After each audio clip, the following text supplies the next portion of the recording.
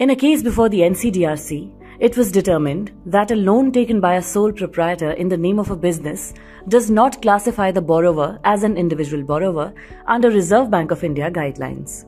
The case arose when the complainants secured a 4 crore business loan from HDB Financial Services, agreeing to repay it in 120 monthly installments.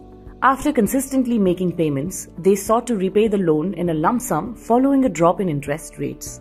However, the finance company imposed a prepayment penalty of rupees 17 lakh 851 which the complainants challenged as arbitrary and contrary to RBI regulations. They turned to the district commission for relief which granted some compensation but the finance company appealed leading to a series of dismissals until the matter reached the national commission.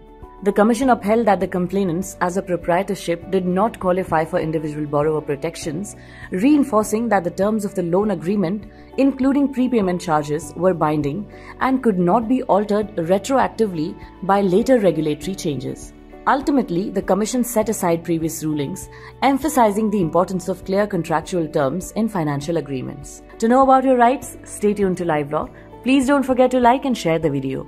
For daily news and legal explainers, you can also subscribe to our YouTube channel.